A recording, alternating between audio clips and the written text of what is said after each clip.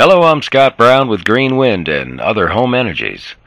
I've tied a piece of wire around the box end of my wrench so it'll stick real good. There you go.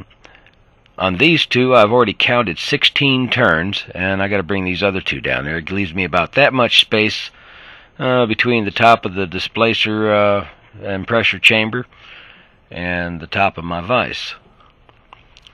There we go, 16 turns. And you got to bring all four of these sides down evenly or you might run a risk of bending your displacer rod, which is not very good. There we go. See it one more time. I'll show you how it just sticks there. Makes it easy to count. One, two, three, four, five, six, seven, eight, nine, ten, eleven, twelve, thirteen, fourteen, fifteen, and 16. I'm going to put three more on here. Now that they're all even, we're starting over. So we go one, two, and three. And I'm looking underneath and see how close I am to the Stirling engine. And I'm going to speed this video up here. That's why we're using regular narration right now rather than talking straight off the camera. I really don't want to run too much time and bore you to death. Uh, I look at these videos half time, I'm pretty bored. anyway, the can off to the right is a Big Tex grapefruit juice can. It's the same diameter as the outside of the pressure chamber. And I might make one more out of that, but I'll need two of those cans, and then uh, I'll probably use some uh, Dinty Moore beef stew cans. I believe they fit just inside it. And I'm going to use a longer stroke on the displacer on this one. It's going to make it run a lot slower. But it will have more torque in the long run.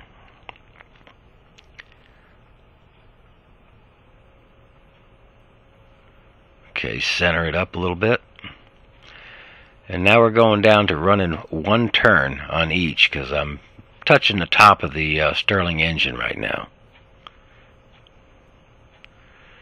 If you don't come down even, it squeezes the the can will contort.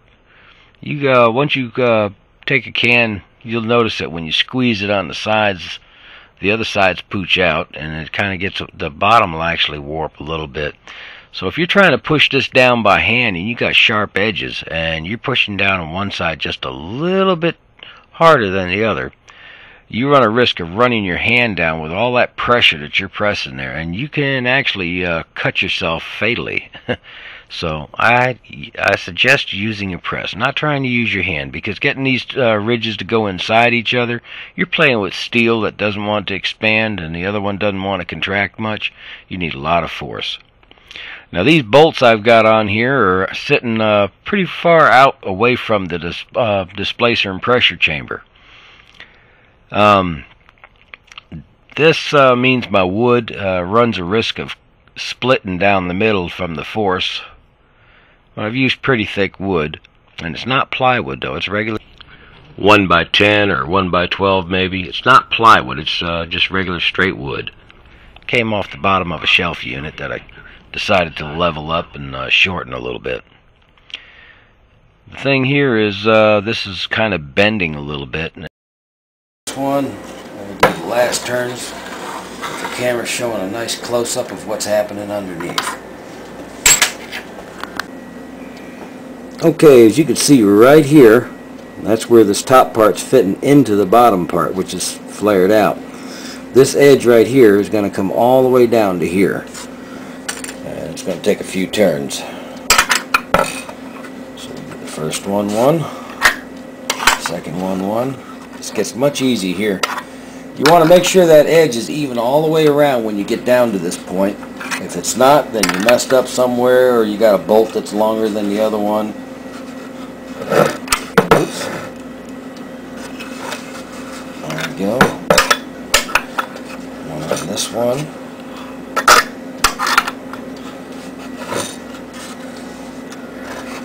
Starting to get a little tighter.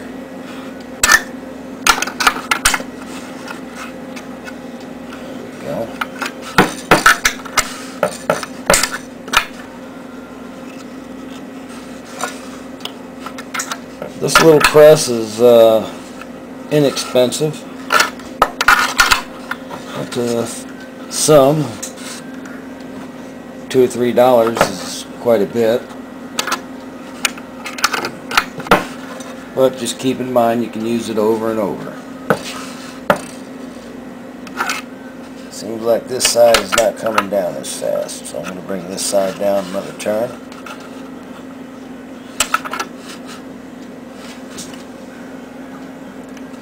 Maybe the wood was warped. Oh, she's warping.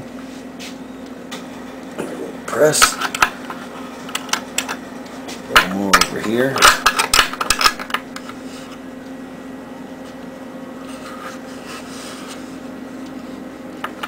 She looks like she's ready to pop in.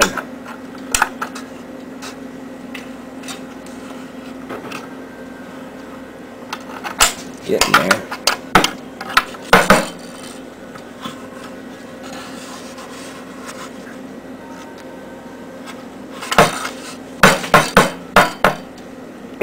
Press down on the roll. Like I said, I might have made this one a little wide. That side's coming down. That's good. And we come back around. And now she has pressed in and it's made it to that groove. And it's the same all the way around. Now you can take your bolts off. And now you have your Stirling engine. In this little groove down here, we're going to stick some super glue. And that ought to straighten her up. And on the outside, you can take a little Permatex if you want, because it's high heat. Silicone gasket sealer. And now your displacer and pressure chamber all done. Alright, we got the nuts and washers off and the top off. And here's our Stirling engine displacer and compress. There we go set that over here. All we want to do is take the super glue and stick it right along this edge. Right along here and that'll seal it right up. Alrighty, so I'm going to kind of tip it sideways and leave that edge down. And put my super glue right uh, on the edge here. Oops, took to the wrong piece. That's alright, that's what the teriyaki stick is for. Guide it into the crack. Once I got it into the crack, it'll uh, you can just basically go all the way around. And it will keep on staying in the crack. Get to the piece on the top. There we go. And around. If I got any drips I'll just go ahead and guide them in.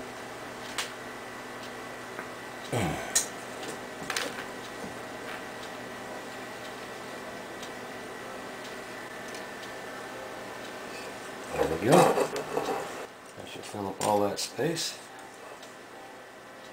A little more right here.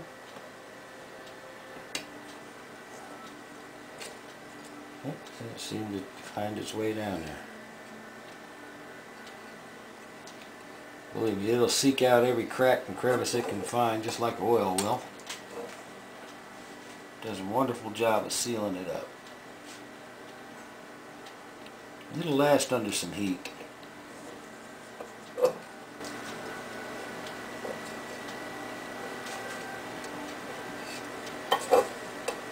And I'll give you a little pointer while we're at this. When you run a Stirling engine, sometimes you're using wax and the wax runs out or starts to melt all the way.